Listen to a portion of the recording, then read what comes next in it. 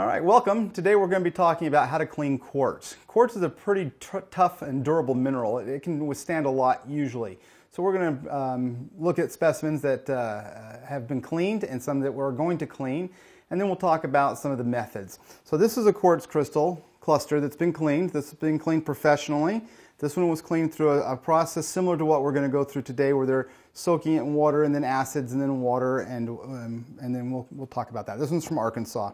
Uh, some quartz crystals have uh, enhydros or uh, veils or cracks in them and so you have to be cautious of those when you're cleaning to make sure you don't give them any thermal shock, you know, dropping them in hot acid or cold water uh, that, that can obviously cause them to crack and you can lose the enhydros or just have the crystal fall apart altogether. It has happened, so it's just something to be aware of. Sometimes you're cleaning minerals that have other minerals on them and you're going to want to keep those other minerals, so you have to be uh, conscientious of that as well. make sure that you don't scrub off anything that you do want. Mechanical methods are the first method we're going to talk about, and that is going to be things that you can actually physically do to the, the quartz crystal. I always start with just plain water and uh, some kind of very soft brush that you can brush off dirt. Anything that's loose will come off automatically really easily.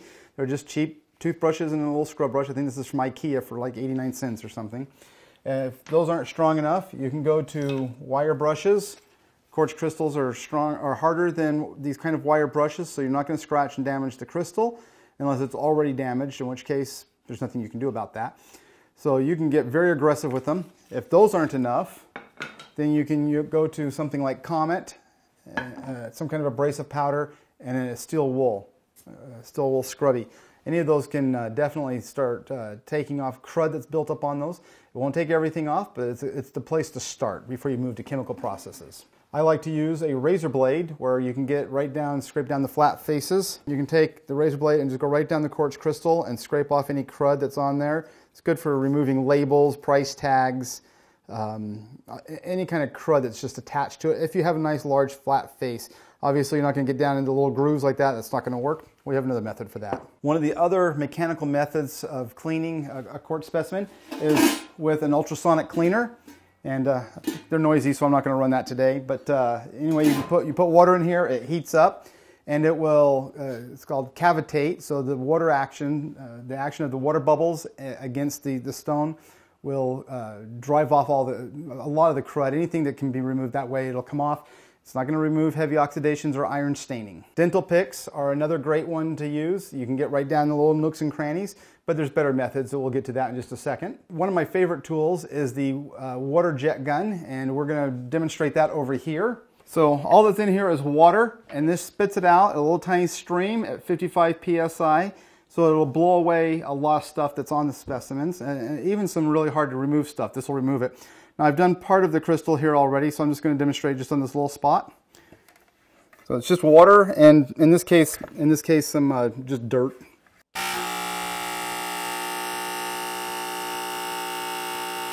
So you can see how you have to turn it at different angles so the water jet can get down there at different angles. You have to be careful with this that it doesn't hit your skin because it really stings. You want to avoid that. So we're going to take this now. It's, this specimen has, been pretty cleaned already, so we're going to take it over here and we're going to go to the acid.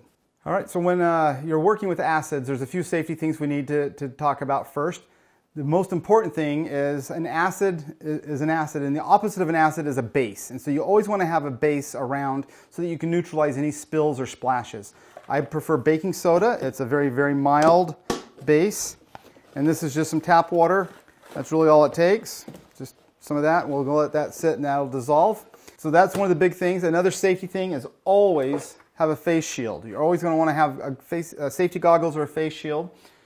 Uh, it's imperative if you want to keep looking, being able to see. So just make sure you're doing that if, if you want to keep seeing. Face shield, rubber gloves. These are not really good gloves. It's just all I have right now. I can't find my other good gloves. You really need to do this outside. The fumes from these acids are very caustic, especially towards any iron.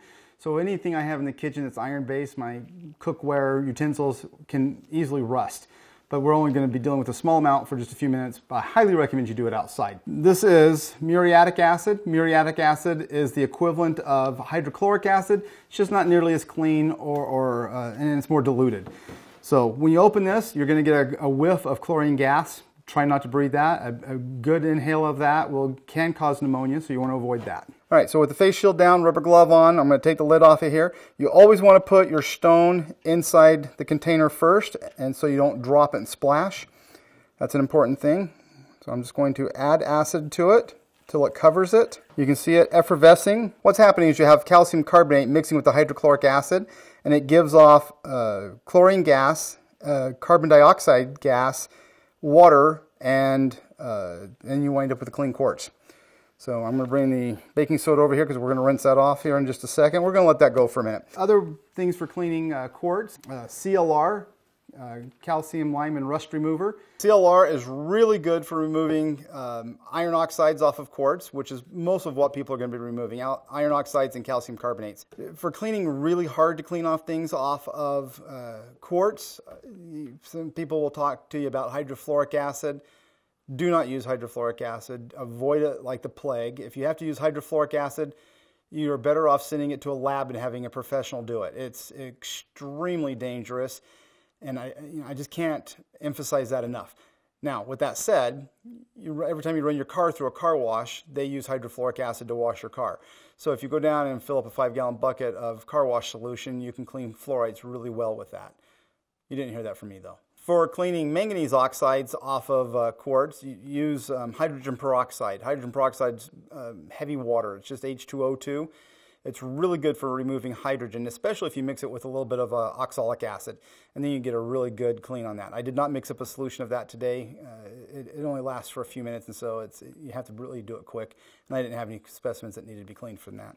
All right, let's take this quartz out. Uh, you can see that the bubbling has stopped now. It's not effervescing anymore, so we've removed the majority of the calcite so far, and I'm just going to Take it out. Yep, most of it's gone. You can see it's going to effervesce in there when it reacts with the baking soda a little bit, neutralizing the acid. And you can see now all the white powder has come off. And we do have some of the iron on here that we're going to have to soak it in uh, CLR to remove that. So CLR is not nearly as dangerous uh, to use. So I'm just going to pour some in here.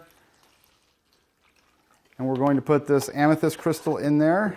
Now that may need to soak for uh, maybe as much as 12 to 24 hours or, or, or, even longer. This isn't a heavy coating of iron staining on there, so we're just going to give it a few minutes and see how that turns out. Sodium hydroxide is another uh, chemical that works really good for cleaning off certain things off of quartz, especially clay minerals.